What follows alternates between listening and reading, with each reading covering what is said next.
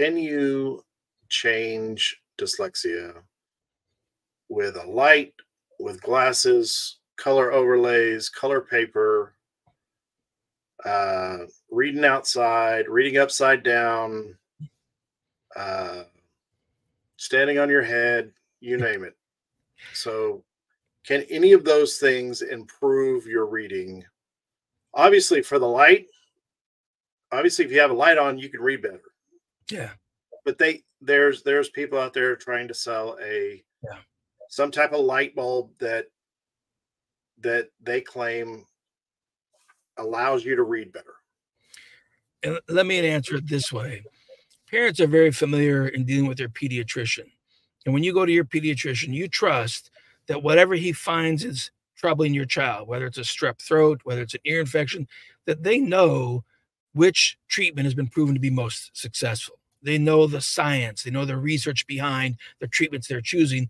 And there's little to no question about some of these basic, you know, diagnoses of strep throat or ear infection and what's going to be the best treatment. That's the same kind of question you would be asking any treatments coming for dyslexia is what's the research? Where's the proof that what you're telling me is going to be highly effective? Because without the proof, you're actually then just guinea pigging your child to try something that odds are is probably not going to be very effective because there's no evidence, there's no large scale, or even sometimes there's not actually not even any small scale studies that show that this is going to be effective. So to date, there's no randomized controlled trials that show light therapy changes reading skills that I know of. And I keep reading every day. I've been reading research about dyslexia, gosh, for about 38 years now. Um, there's no studies I know of that show the overlays consistently change reading skills. Now, consequently, you'll hear if some parents say, Yeah, but it really helped my kid. He said his reading was better. Well, that's interesting observation, but you really want clear study to say, yeah, but if we give that same overlay to every kid with dyslexia, if it's really a core treatment, it should be able to be tested and proven to be effective.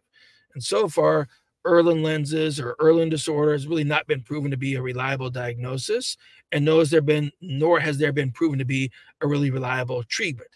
And it may relate more to contrast and to sensitivities. And certainly, yeah, there could be some kids who have more trouble looking at print with contrasting backgrounds, but it's not seen as a core cause of dyslexia, nor is it seen as a reliable treatment for it.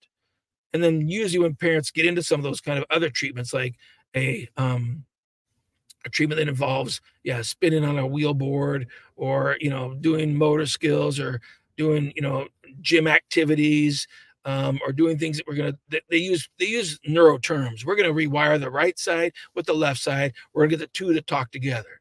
Like sounds powerful, sounds logical. Show me the research that proves that that actually happens and that reliably changes reading skills. And that's usually where these other programs fall apart. Here's one reason that that's allowed to happen. Um, to be a anybody in healthcare, any profession in healthcare, to be any of those providers speech pathology, OT, psychology, physician, dentist all of those healthcare professions require a license. And then there's a code of ethics, and there's ethical responsibilities, and there's an expectation of science required of those professions. Sadly, for parents, there's no licensing required to open a dyslexia center. So consequently, we're seeing more and more of these things opening like wildfire right now because of our supposed COVID gap in literacy more parents are more aware that their child's not reading very well because when they were doing home-based school during COVID and working from home parent, they heard their kid read and they realized that B or that A in reading doesn't guarantee the kid actually was reading really well. And they now are becoming more aware of that nationally about 60%, six zero. It's an alarming statistic. And you go to www.nationsreportcard.gov it's N-A-T-I-O-N-S R-E-P-O-R-T-C-R-C-A-R-D, nationsreportcard.gov. And you can look at data that shows we've been tracking the literacy rates in the U.S. since 1971 across fourth graders, eighth graders, and 12th graders.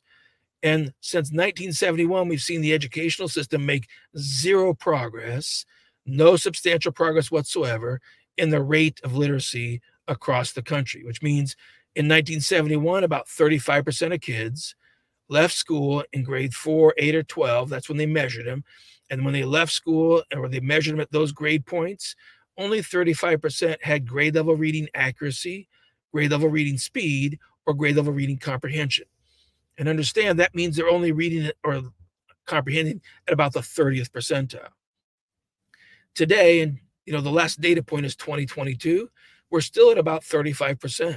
We haven't had any improvement in literacy instruction across the world, or actually across the country in the US for our data, but arguably we don't see it really changing anyplace else either because there's no licensing required to actually do these types of interventions, and there's no proof of effectiveness required for a literacy program.